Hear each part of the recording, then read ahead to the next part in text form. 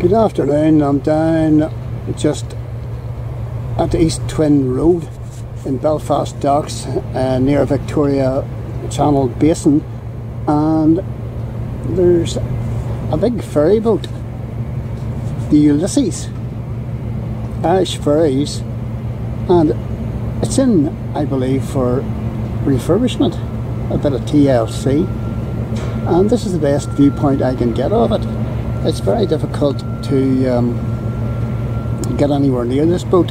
It's a, a roll off, roll on uh, cargo um, ferry and passenger ferry.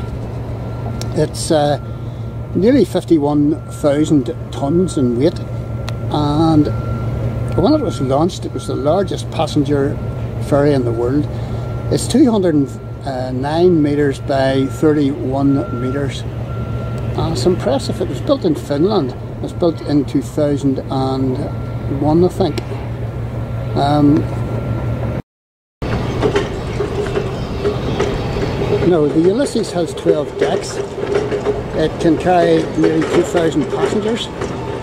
Um, it has 117 cabins and it can carry 1,340 cars so some some some vehicle, some boat, or it can take 240 articulated lorries. This is something else. And I've just come on out of uh, the main docks area and I'm on the airport road to try and get a side-on view of the uh, this Irish ferry, this massive Irish ferry the Ulysses. And this is the best I can get so far. I'm going to go further on round to see if there's any other vantage points, but I very much doubt it.